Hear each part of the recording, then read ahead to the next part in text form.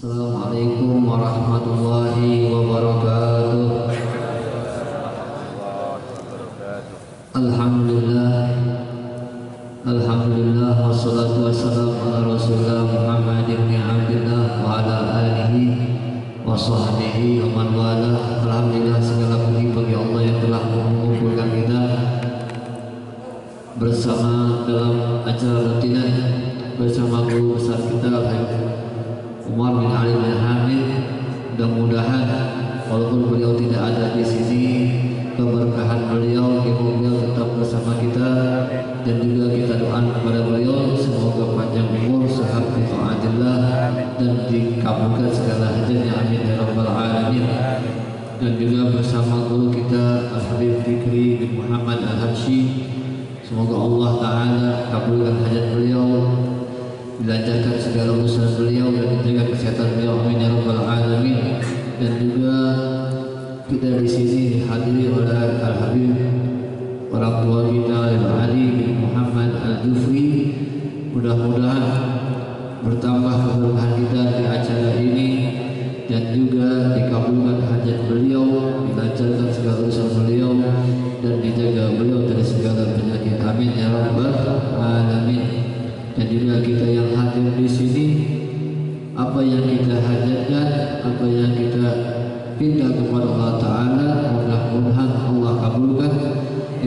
hadirnya kita di tempat ini. Amin ya rabbal alamin.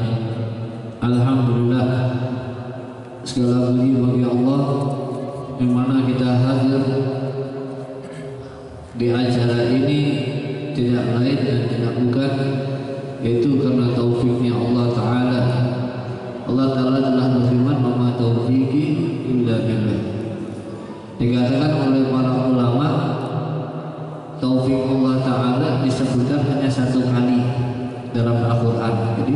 itu sangat lama Sangat mahal sekali. Al-Quran Mama taufiki illa billah.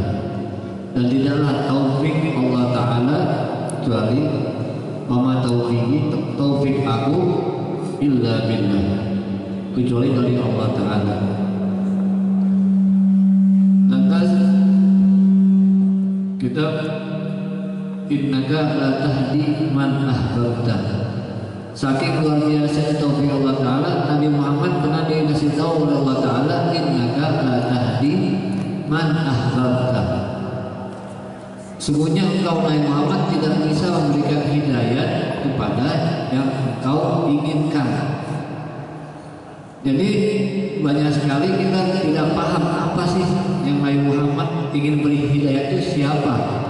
Banyak orang yang tidak paham dengan Rasulullah SAW menyangka Rasulullah itu pilih kasih, pilih kasih.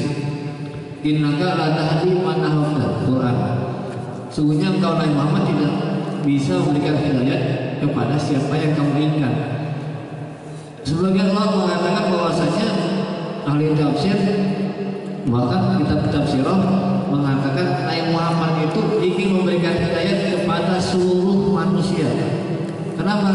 Karena Nabi Muhammad itu sangat sayang kepada orang, kepada makhluk Allah Taala. Jadi kata Nabi Muhammad, Nabi Muhammad itu beringin bertekad supaya orang-orang di dunia ini masuk ke dalam surga. Jadi jangan sampai orang lain menyangka bahwasanya Muhammad itu pengen salah satu beberapa orang saja suatu kelompok saja yang ingin masuk surga itu salah salah pemahaman jadi Nabi Muhammad itu ingin memberikan hidayah kepada seluruh manusia seluruh jadi jangan sampai ada satu orang pun yang masuk dalam neraka itu adalah rahmat inna wa ma arsalnaka illa rahmatan lil alamin jadi Nabi Muhammad itu menginginkan tidak ada satu orang pun yang ada di neraka. Luar biasa. Sallallahu alaihi wa alihi wasallam. Tapi takdir Allah sudah menentukan. Wa ma taufiqi illa billah. Wa ma taufiqi illa billah. Bahkan Nabi Muhammad SAW di antara doa sujudnya mengatakan ya dia mengkalimul qulub sambil kopi ala ini. Jadi menunjukkan bahwasanya hidayah Allah Taala itu sangatlah mahal sekali. Di Al-Qur'an hanya disebutkan hanya satu kali satu kali saja. Jadi di menjelaskan apa sih arti taufik Allah Ta'ala? Ulama mengatakan arti taufik itu apabila ada seorang mudah di dalam ibadah. Kalau kudrati ta'at bil amal yaitu artinya Allah menciptakan kemudahan pada seorang hamba untuk beribadah. Itu berarti namanya taufik Allah Ta'ala. Ada seorang bisa sholat rawatib atau sholat sholat dia mulai atau sholat duha itu berarti Allah Ta'ala memberikan taufik kepadanya. Kemudian apa kebalikannya? Kebalikan adalah orang yang dikatakan al-khidlan al-khidlan adalah Allah Ta'ala menghinakan kepada dia karena dia diberi rezeki oleh Ta'ala diberi segalanya tapi ketaatan kepada Allah Allah tidak kasih. Allah tidak berikan. Apa artinya khalqu qudratul ma'siyah dan amal. Allah memberikan kemudahan kepadanya untuk mudah dalam maksiat.